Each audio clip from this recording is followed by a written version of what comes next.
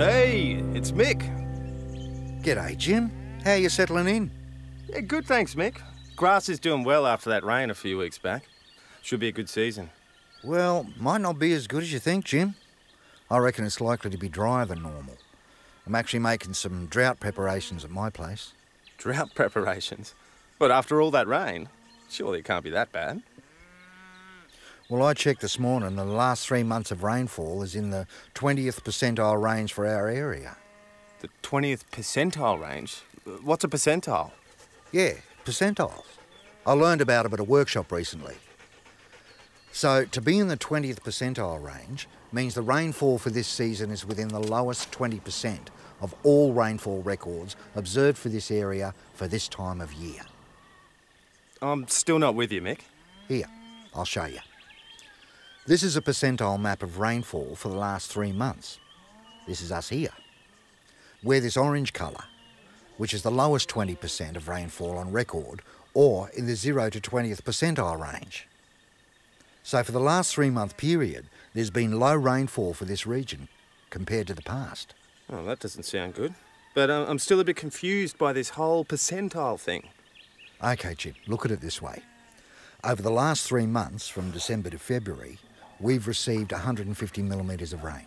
Okay. But that's not the whole story. You need to know what percentile that falls into to really understand what it means. Okay, and how do you work that out? It's all in the data here. These are the rainfall measurements for this region for every December to February period since 1890, from the oldest to the most recent.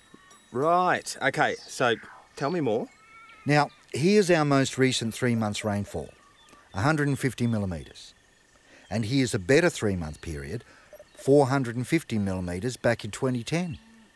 Now, if we rearrange these measurements from the lowest to the highest rainfall amount, you can see the last three months of rainfall is below the 20th percentile because it's in the bottom 20% of rainfall measurements. What?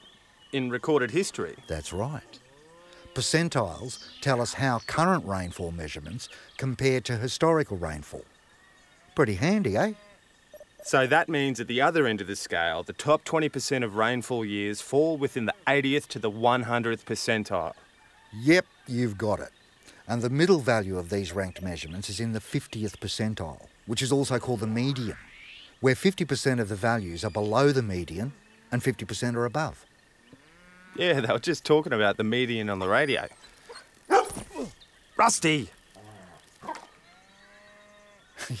yep. That's because the median is a useful value for comparing forecast rain with the historical records. Let's see what it tells us about the next three months, March to May. So this map forecasts rainfall for the next three month period. According to the outlook for our region, we only have a 20 to 30% chance of exceeding the median value. Which means it's not very likely that we will get more than the median rainfall for this period. So, what is the actual median rainfall for that period? From March to May or autumn, 50 millimetres.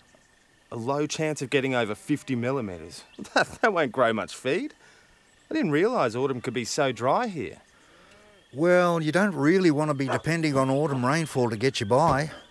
But hey, you've still got some time to make management changes, given the feed we got from that recent rain. Too right. And thanks for the advice, Mick. By the way, where did you get this rainfall percentile information from? Well, there's a few sites for climate information. I like the Long Paddock website, but there's also BOM, the Bureau of Meteorology, and Australian Climate. That's great, Mick. I'll take a look. Thanks again. No worries, Jim. I better scoot. Come on, Rusty.